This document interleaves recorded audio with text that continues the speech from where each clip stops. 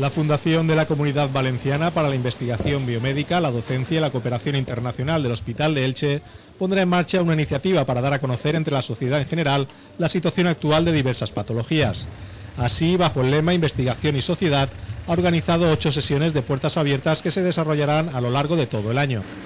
En ellas, diversos especialistas abordarán la situación y las novedades en torno a enfermedades de gran trascendencia y relevancia para la población por su frecuencia, gravedad o su coste social alto. Entre las enfermedades elegidas para ser objeto de análisis se encuentran la diabetes, el Alzheimer, las alergias, el SIDA, la esclerosis múltiple, además de haber sesiones previstas para la vacuna papilomavirus o la planificación familiar. La actividad arrancará mañana miércoles con una charla informativa con el cáncer de mama como tema central, que tendrá lugar en el Hotel Huerto del Cura a partir de las nueve y media de la mañana.